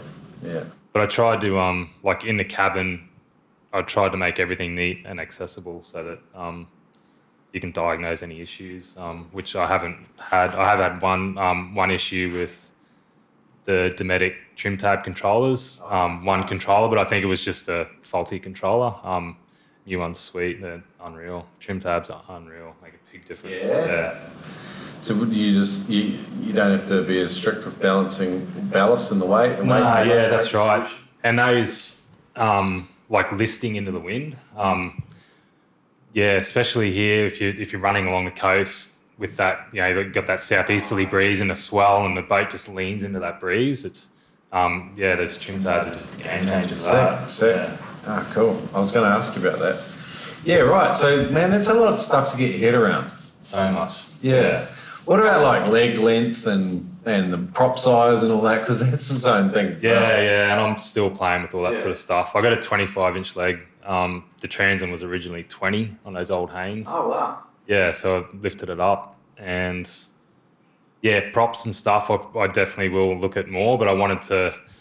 I didn't want to just start messing around with it straight away. I wanted to do multiple trips. I've done about eight or nine trips now in it. Um, so I've now lifted the motor one hole. I'm going to run that for a period, see how that goes. Yeah, right. See what you know the average is, if it's an improvement or not. And if I can go up another hole, I will. What what what mileage are you getting out of it? Um, on average, about 1.5, 1.6 kilometers a liter, Yeah. and I reckon I, sh- I can get better than that. Yeah. Um, Some guys say like that two to one It's like yeah. pretty good for Haines. You got a big donk on a on a, Yeah, on a relatively small boat. and I'm carrying a fair bit of weight Yeah, as yeah, well, yeah. so it's not that bad. But yeah, I'm not too worried about how fast it goes. More so, um, want that economy. How fast does it go 45 knots. I'm not worried about how fast it goes, but yeah, I get along at 90 kilometres an hour. Yeah. yeah. But um, That's full hammer though. yeah, that's full full Full donk in the river. Yeah. But um, yeah, it's it's more about economy. The price of fuel is just ridiculous. Oh, 100%. 100%. Did you, when you were shopping around for outboards, did you think about the new diesels they got? Oh, I did see them. Um, Yeah, I haven't. yeah, I've looked at them a little bit. There's diesel, there's electric motors getting around, and All sorts of craziness these days. yeah, the Mercury's um, yeah, they seem to be a good motor these days. I think they always have been a pretty good motor, but um, yeah, these ones now are getting a really good name. So Sick. Heaps of power. Mate, thanks for walking us through a bit of the rebuild. Like, like I said, if guys want to go and have a look, I'm going to link it up in today's show notes. But um, Kurt's got like a four video series on on the rebuild and the process of it, and like you don't have to learn everything the hard way. Kurt's No. already done all that learning for you. so go in there, and if you're looking to rebuild a, a fiberglass boat, it's probably a really good jumping off point. yeah, and if you've got any questions, um, send me a message. I- I love talking about it, and I've got a lot of information that I've kept as well, so I can just flick off to people. I'm going to pick your brain one day when I have some time. I'm going to I'm going to do a rebuild too because I like your idea and your thoughts around. You know how where stuff might fail and how to fix stuff, and there's there's something about learning through doing. You know. Yeah, yeah. So, but like you don't learn a language until you go to the country where they actually speak it. I, I couldn't learn it in school. Yeah. And I think like thinking about a boat, like you you're not going to understand as much until you own one or rebuild one yourself. So Yeah, definitely, definitely. So talk to me about Exhale Adventures. How long has it been going? Um, what? Why did you start the channel? And I want to get into a philosophical discussion about like wearing a GoPro when you're spearing because I still struggle with it. Man. Yeah. Um, all right. So Exhale Adventures. I don't know if we talked about this before we started recording, but um, yeah, like Mackay copping a lot of flack, and at the time I'd I hadn't been spearing for all that long. I was kite surfing a lot, um, stand up paddleboarding, surfing, you know, doing everything like like what I said, like not enough time to do everything to do a Mackay and see people just smacking Mackay saying there's nothing to do here, there's nothing to do here. And I'm like, there's so much to do. Like, there's so much to do everywhere if you look for it. Yeah. And um, so that was a big push. Um, I had a dear friend who passed away at work. Um, I was heavily involved with with that, and he was always pushing us. He's like, "You guys do some cool stuff. You need to like put it out there." Yeah. And um, it was sort of post that I really bumped it up a little bit. I thought, you know what, he's right. And Yeah, that's cool. so I started um, posting more regularly, um, but really like burning through footage. Um, like I had a year and a half worth of footage here, and I burnt through it so quickly doing like short, snappy videos with a lot of fish. And um, I'll actually be able to revisit some of that and like learn a bit from that as well in future videos. But yeah, yeah, the big thing was to sort of promote Mackay a little bit, um, show what we do have out there, and learn as well for myself. Um, yeah, I'm just interested in it, interested in the video building process and all that sort of stuff. Um, Always sort of like that sort of stuff. How long have you been doing it? I've been spearing. My young fella turned seven um, two days ago, and I've been spearing pretty well. I've got, got a photo of my wife sitting on the couch about to explode with all my new spearfishing gear sitting on the ground in front of her, and she's sort of. It's a funny picture because she's like, got this funny look on her face looking at all this gear, and I think she's realised what's about to happen. Man, you've come a long way in seven years, eh? Yeah, it's been a, it's been an adventure. That's cool about documenting it too, because it's almost like when you edit stuff and you put it all together, you, it's almost like you're actively debriefing yourself. So you're you're going over and cementing in some of those lessons that you've learned. Yeah, hundred percent. And that's yeah, that's the beauty of it as well. And like other people as well, you get comments on like you know you could have done this or why did you do this, and it sort of prompts thoughts and yeah, it's good for that. Um, recently, you were chatting about maybe getting away from GoPro and moving to another action cam. Um, what GoPros are you shooting with now, and what's sort of what's making you a bit gun shy with them? Um, I'm shooting with a seven and an eight. Um, the seven's good, the eight's shocking. Um, and I've heard mixed reviews about these later ones as well with like overheating issues and stuff That like just that. overheated before in the housing. But if you're underwater, they don't. No, not as bad. But you want that. You want the dry land stuff too. I had it in the super suit, obviously, because it sits nicely in that thing. But um, yeah, Yeah, I just I broke that frigging thing too on the first time out. I bought the wrong housing. I bought a GoPro Hero 9 housing, and the 10 is just slightly different but won't fit. yeah right. And I took it to WA with the 9 housing, wouldn't fit. So I u- they waterproofed the 10. So I was like, I'll use this as the boat cam and then like a little bit of just surface stuff maybe. And um, we're going out there, Bert's full send in his boat. Yeah. And um, the thing smashed into one of the support pillars and broke the rear screen. And I'm just like, this scope, like it's just that's, I mean, that's sparing. Yeah, yeah. But yeah, um, what are you considering as Well- instead? DJI. Um, I've recently watched Aaron Young's video. um, that he did. I love, I love Aaron Young. yeah. I'd love to get over there and go for a dive with him. Yeah. He'd just be a cool dude to hang out with. Um, yeah, hundred percent. And like that type of diving he does, I love Yeah. that. That's me to a T. But um, He does, yeah, like he's like you, like he mixes the inshore and the offshore. Yeah, pops on all of it's very similar to what we got here. Just he's got that better viz, but um, yeah, cruising through the canals and all that sort of stuff. I love all that stuff. Yeah. But um, yeah, DJI recently did a comparison. I've also just watched a comparison with, or not a comparison, but some videos done with the new Insta 360, Yeah. which looks unreal, especially in low light. Okay. Um, which GoPro is really not so good at the low light stuff. Um, Well, you can do your EV comp, hey, that's how you get around it, isn't it? You can go like minus and sort of bring up your low light stuff. Is that how you do it? I'm not too sure with the GoPros. I'm, yeah. um, yeah. In the settings, there's that EV comp. I'm pretty sure that's how you how you can um, Yeah, up that low light stuff. But yeah, I hear what you're saying. The sensor's not super good, I think. No. Um, yeah, that's that's sort of where I'm at with that. But I mean, like the seven and eight are old. Like, Yeah. um, We're up to 12 or something. yeah, something like that. But they do a good job still. Um, Yeah. When they work. Yeah, it's just more recently they're starting to fail a little bit, and um, yeah, Ben's having some dramas with his as well. What's he running? I think he's got a nine, possibly. Yeah. Um, yeah, like the batteries expanding and stuff like that. He's been burning through a fair few batteries. yeah. I was out the other day. I've got a seven and a ten, and I don't like using either of them. Felt like I'm out with my two mates and they're line fishermen, and uh, you know it is what it is. But I jumped in, and then it was wicked fishy, and I was like, "Oh, can you throw me my GoPro?" And um, no, no, no. I jumped in with it back to front for whatever reason on my head strap. And then I threw it in. I said, "Oh, hey, can you fix this and turn the camera around?" And then my mate um, undid the housing, and then threw it back to me accidentally. He didn't. Oh. Yeah, so it's flooded my seven. It's wrecked. It's Oh, gone. man. But I can't really blame him because I should have had the frigging thing done Yeah, right. yeah. But yeah, like, and now I've just got the ten. But I'm, I'm about. I'm going to go buy another one too because Yeah. like there is something about capturing some of your stuff. Like it's it's pretty cool, man. Yeah. I find it disruptive though sometimes. How do what's your workaround? I mean, I mean it's, blokes aren't generally good at doing two things at once. I want to go spearfishing or I want to go filming. It's hard to do the two together. Can you talk to that for a sec? It's um, it's like the steps. So if I'm if I'm diving and I don't have my GoPro, which is very very rare, I, I have um, I do do it from time to time if I'm out with the kids and stuff like that. I'll I'll go to turn it on because that's part that's part of Oh, my that's part of process. part of my pre-dive process. Yeah.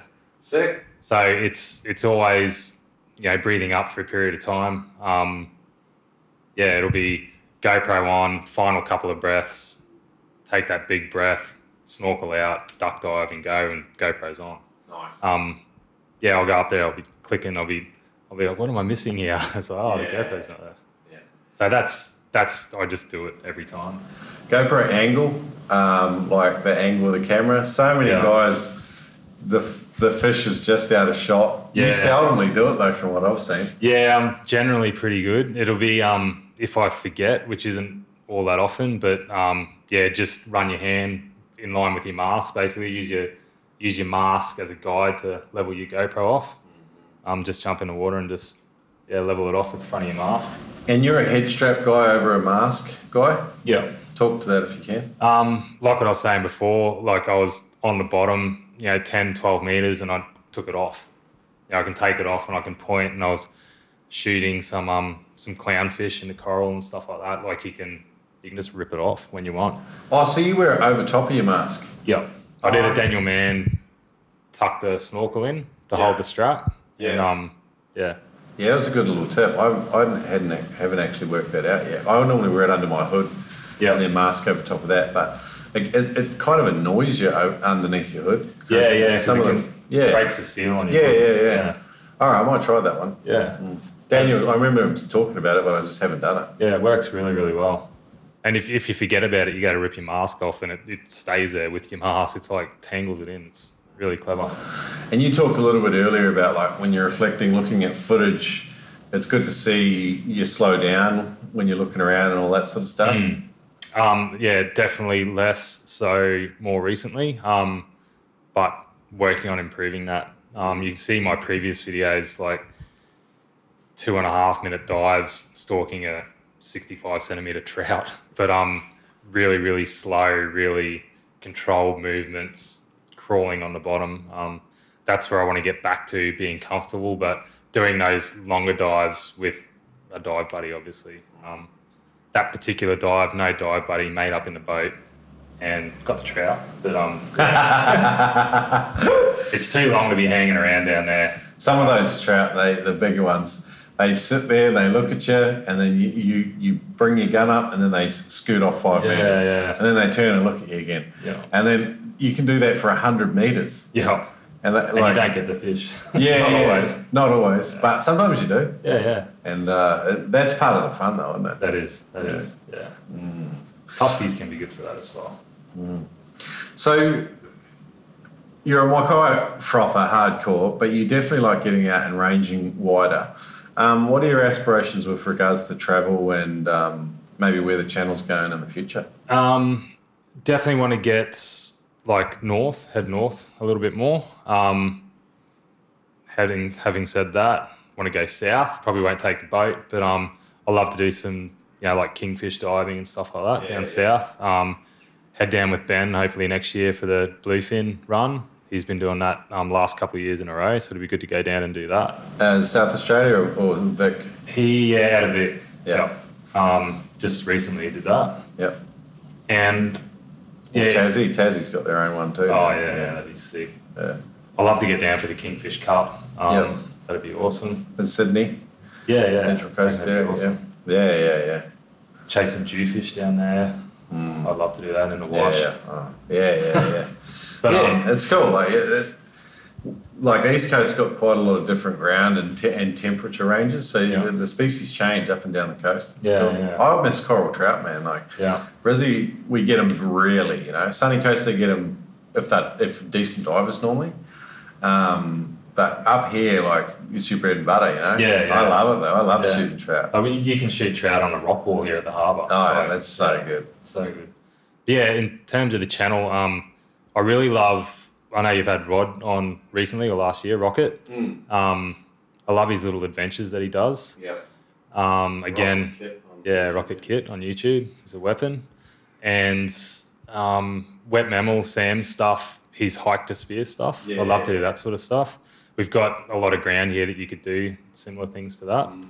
I sort of like the idea of the idea of that, sort of taking what you got and What do you think about blowing up spots? Because like out here off Mackay, you guys have got a number of like really sick islands. But you almost wouldn't want to tell everyone everything, would you? No, you notice I get a lot of people, well, not a lot of people, but people message me saying like, "You were here." I'm like, "No, I wasn't." You, you might think I was there, but that's not where I was. And I do my best to not burn spots, um, especially starting out. Um, what seven odd years ago now, I was going out with a lot of people. So a lot of places that I go, I have been with other people, and I, I definitely don't want to burn those spots. Like. Um, It's hard when you got a YouTube channel, man. Like, It is hard. It's, it's work to avoid inadvertently. Like, Yeah, that's right. And you got to be conscious of it with your shots and stuff like that. Like often when I'm out with Ben, we both got GoPros on. There'll be a good shot and a bad shot, like a, a really obvious. Oh, that's where they are, and yeah, yeah. it's um like some of the cluey guys can pick it, but the general general public um would do my best. Like cut the videos as soon as you hit the surface, and then back on as you come under. And Yeah. The other thing too is it's like time. Place is okay sometimes, but if they get time and place, Mm. like particularly for some species, that's that's like you're giving away the secret sauce. yeah, that's right. And um, I've tried to steer clear of it on the potty because I don't want to be respectful to local people and protecting their spots. Because, like, as much as I love helping people start spearfishing, I think you need to learn how to find good spots and ground by yourself. Yeah, and then right. you'll jealously guard it, and that's good. Yeah. Person to person sharing, I think, is okay, but not social media, not where we, we're putting potentially thousands of people onto a spot. Yeah, that's right. No, no place can handle that amount of pressure. No, no, and that that was a big thing for me with my boat is, um, with the Haines and building the Haines was going and finding those magic spots, and that's like a big focus with with Ben and myself. Um, like we did last week, uh, we went out chasing some marks that he'd run across in the fisheries boat, and he'd taken note. Um, those guys do a lot of miles out there. Yeah, yeah. So we checked some spots and um, yeah, big bull shark, but yeah, it's definitely a promising spot. Yeah, I like it. I, I, I like the sound of that. Big sharks, yeah, uh, over good like looking structure. That sounds fun. Yeah, I can't wait till the visit's here. We'll head straight back. It's gonna be good. If your buddy had a blackout on your next spearfishing trip, think what would the outcome of that be? Do you know how to revive someone from a blackout? Would you even be in a position to do something about it? Or would you be diving, chasing after a fish as your buddy sinks down to the bottom of the ocean? Do you know where most blackouts happen? Do you know what you can do to minimize your risk of having a blackout? My name is Ted Harty, and I'm the founder of freedivingsafety.com. In my free online course, you will learn the truth about shallow water blackout, the myth of I don't push myself, I know my limits, I'm in tune with my body, how to minimize your risk of having a blackout, and most importantly, how to save your buddy's life if they have one. Visit freedivingsafety.com to sign up for your free course today. Dive safe out there. It's, it's not even that hard. Sometimes with weather and commitments, it's a long time between drinks in your spearfishing journey. If you want a dry training program that can keep you in some kind of shape for spearfishing, check out Ted Harty's 28 day freediving transformation at noobspearo.com forward slash TED. That's noobspearo.com forward slash TED. Now, the 28 day freediving transformation is just a practical dry training plan that Ted Harty will walk you through and it will help you get results even if you can't get wet at the moment. Check it out at noobspearo.com forward slash TED. Scary stuff. Have you had a, a moment that, that scared you in your seven years? Um, the biggest thing obviously was that blackout. Um, Yeah, yeah. I haven't. Yeah, that was that was a real wake up call for me. Um, in terms of like marine life and stuff, I've I've been pretty lucky. I've had, yeah, like I've had the sharknadoes and stuff like that, and then reef sharks trying to catch or trying to take fish off you, and um, Crocs? no, no crocs. So here, there'd definitely be a decent croc in that river. I would, I would imagine somewhere. Um, rarely sighted. We more so seem to get them sort of moving in and out of the systems that we have here, like the bigger systems. Um, I think the you know like the big animals push on or move on the small animals. Um, they recently took one of the one of the crocs um, out of the system um, last year or the year before. One that just sort of hung around a little bit too much out near the harbour there. Yeah. They went out and they um they shot that one. but yeah, I think further north definitely like Proserpine, which is an hour and a half or roughly from here. Prossie River is full of crocs. But yeah, locally here, um, the bigger systems have their big resident croc and yeah, on the headlands and stuff like that. They definitely come past from time to time, but yeah, not not like what you see further north. Yeah, righto. Yeah, they uh, like uh, they're the unknown for me. That that so they scare the shit out of me. Yeah, yeah. Sharks are kind of a, a known thing for me. I'm not, I'm not saying like they don't deserve 100% respect, but crocs to me, just like the, I don't know, they just I don't Yeah. fully understand. Seem a bit more unpredictable. Well, I think I'm diving in a river and there's a big croc. I don't have a boat. I've got to swim to where to get out, Yeah. and that that's scary. Yeah, you pick your spots, and Yeah. Like you go with locals. Yeah, and you you like what we were talking about earlier, like you um you pre-plan. Like I'm big on um pre-planning and making sure that there's not a solution to every problem, but like a, there's an out. So it's like planning a shore dive. Like I'm gonna top in here, the current's going this way, we'll get out here. Um, yeah, having a bit of a plan and having a plan when something does go wrong, or if something goes wrong. Um, like you shoot a big Spanish and he takes all your gear. What are you going to do? Are you going to let it go? Are you going to chase it? Like, are you going to chase it down current? Do you need to swim up current to get back? Like, you need to know what you're going to do in those different circumstances. So it's like scenario planning. So you have some Yeah. ideas. So you're not having to make decisions like rushed, panicked decisions. You kind of already sort of prepared for it. Yeah, that's right, hundred percent. And I've I've had I've had it before, and I've um, yeah, I'm really big on that visualizing. I think that plays a big part, and that's something that I learned from kite surfing, like trying to learn new tricks. You visualize it in your head, and it helps so much to do that. To then put that onto the water and go out and do it, and it's the same as spearing. Brains like yours, though, have trouble turning off to go to sleep. Oh, they do. Shocking. Yeah, yeah. But uh, it's, it's good. Like you do get a level of self awareness about it as you get older, too. Yeah. Ah, all good, man. Um, funny stuff? Um, You listen to the potty, you know what I. Yeah, I. Um, oh, funny things. Poo stuff. You like poo stuff, Yeah, don't you? yeah, you know. That's I've, good. I've It's a good definitely, I've definitely set myself up a couple of times trying to do the right thing and not be near anybody when you're doing it, but you end up in like a backwash, just being surrounded in your own, your own bodily bodily solids. That's happened a couple of times. It's shocking.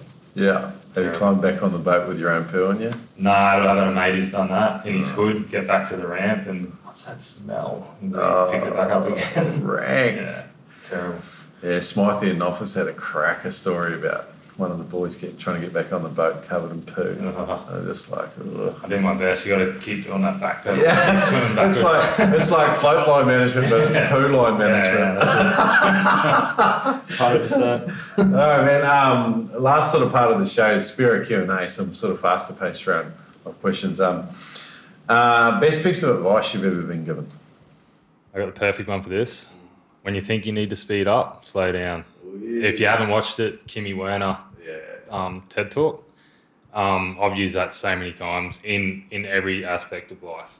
Yeah, Um, It plays, yeah.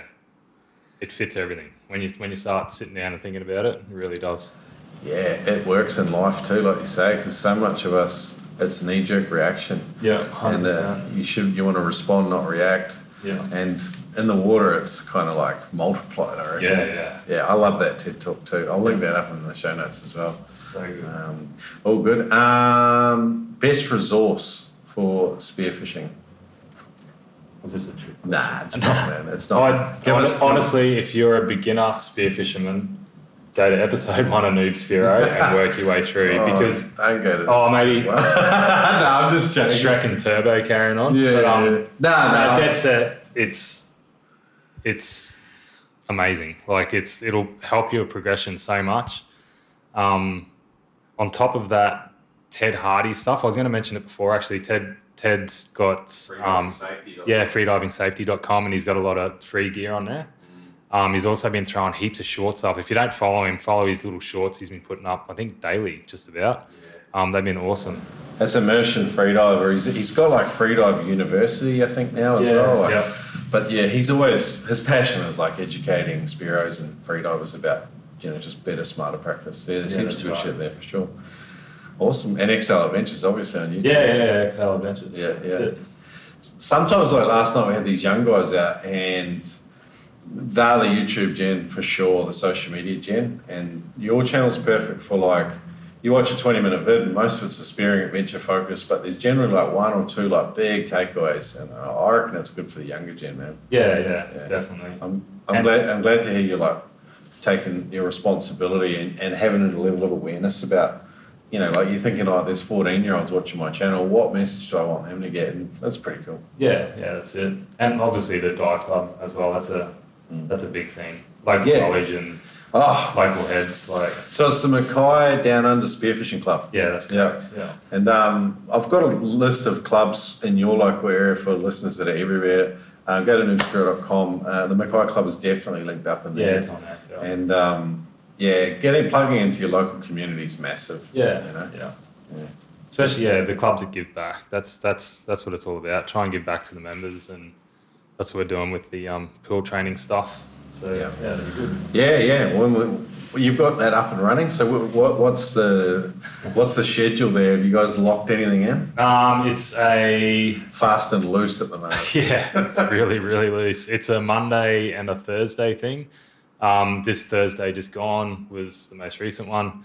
Um, I wasn't able to make it because I was still out at work. So yeah, Monday will be the first one for me, and we'll just be finding our way, finding our feet, I guess, for the first few months, and then yeah, try and make some sort of regular thing happen. Awesome. Yeah. So, but if guys want to um, go to Mackay Down Under Spearfishing Club, um, the details for the pool training, I'm sure, will be up there on their socials or on their on their website.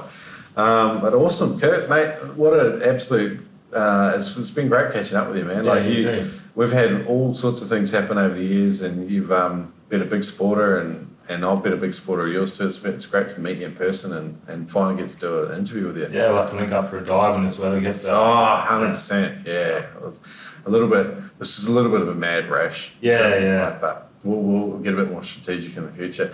Man, where can people come and find you? You on socials? Yeah, I'm on uh, Exhale Adventures on Instagram. where you can search my name as well. I think Kurt Raymond. Um, Facebook, YouTube, and that's it. I haven't got into the TikTok and Snapchat world yet. Yeah. Um, maybe in the future, but It's a post and ghost affair if you're on too many. oh man, it's hard enough as it is. so, Yeah, we were talking about messages getting buried over the Yeah, different platforms right. and stuff. Um, all good, Kurt. Hey, magic. Um, last question. Um, if you had to describe the spearfishing experience in one sentence, how would you do it? A way to get out into the world and center yourself in a time of chaos. Wee, no. Well, maybe not chaos, but yeah. Yeah. Yeah, when, when life gets so hectic, it's yeah, it really just calms you down. Get out into the into nature and enjoy it. Sick, man. Awesome. Guys, go like, subscribe, do all those good things with Exhale Adventures. Kurt is making wicked videos about Mackay. Um, legend. Great to, catch, great to chat today, bro. Thanks, man. Hey, legends. Hope you enjoyed learning a little bit more about Kurt Raymond, the man behind the Exhale Adventures YouTube channel.